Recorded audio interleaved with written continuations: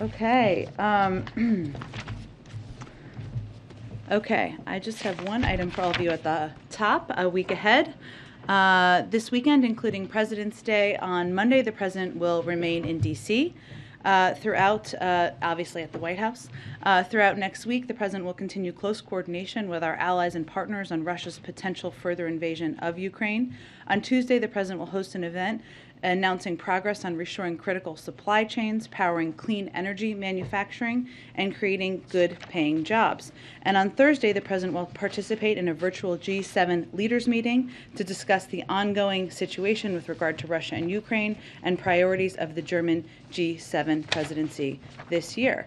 Uh, with that, um, I will try to jump around as much as I can. Josh, you want to kick us off, though? Great, thanks, Jen. Uh, two questions. First, has the president read the Russian response on Ukraine? And is he giving any consideration to mobilizing additional troops in Europe? Uh, well, on the first part, um, I know that, uh, as you all know, our Secretary of State uh, has accepted the invitation to have a meeting uh, with Foreign Minister Lavrov or engage with him uh, next Wednesday. Uh, and certainly we are continuing to review. In terms of the President's status or process there, I don't have anything to update you on.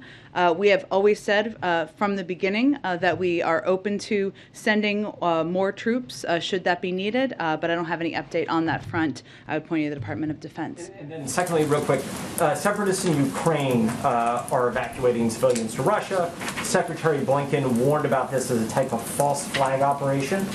Now that you're seeing these operations, does that mean a further invasion is forthcoming, if not inevitable?